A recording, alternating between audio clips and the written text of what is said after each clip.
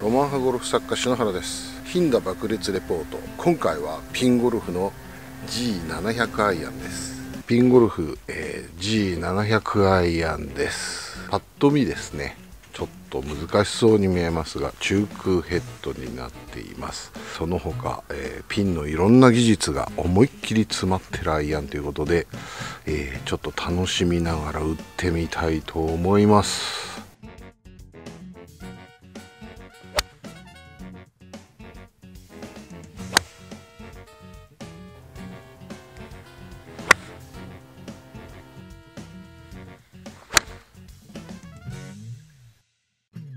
打ってきました、えー、G700 アイアンですね。もう結論から言います。とても良かったです、えー、これねシャフトの設定が実は硬くて重いものが、えー、いわゆる普通のラインナップではないんですよ。多分特別注文では扱うんじゃないかと思うんですが普通に、えカタログにいわゆる出てるものっていうのは、え軽量シャフトのかつ、えー、結構柔らかいシャフトがボリュームになってたりします。今回打たせてもらったのも軽量シャフトでちょっと柔らかめのシャフトがついてるものでした。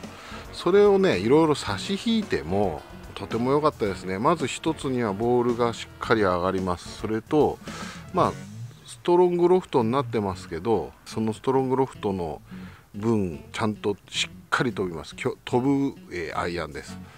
でかつね番手が今までの例えば7番であれば今までの7番で上がってほしいところまでは上がるんですよ。いわゆる高さもちゃんと出るんですね。まあ飛ぶというアイアンは止まらなかったりとかいろいろあるんですけど止まるのも止まります。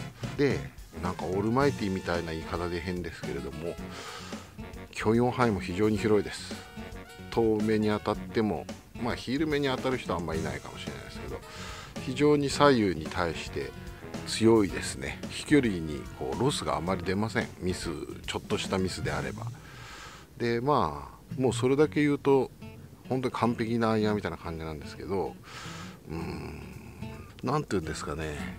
なんかね使っててあんまり面白みは感じなかったんですね。いいなとは思ったんですけど面白いなっていうのがなかったんですよ。でこれはどういうことかっていうと,、うんと意外にね敏感なんですよね。ちょっとしたキュッてこう力が入ったりとかすると、まあ、シャフトのせいもあるんだと思うんですけれどもドローもします。であ引っかかりやすいのかなと思うとちょっと逃がしてやるだけでかなりフェードもするんですね。つまりねツアーレベルで求められるような敏感さも兼ね備えちゃってるんですよ。でこれは普通はちょっと面白いって僕なんかは思うんだけど今回の G700 に関してはえー、それがねあんまり当てはまりませんでした、えー、理由はね何だろうな。戸惑いなんでしょうね。うん。まあある意味飛ぶしちゃんと止まるし理想のアイアンに近い、えー、クラブだと思うんですけれども。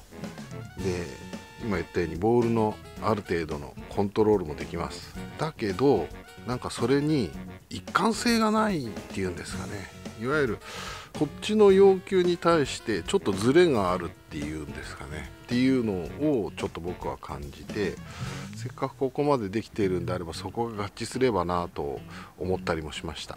まあそれは僕個人の非常にねとんがったというか偏ったというか意見ですのであまり参考にならないと思います。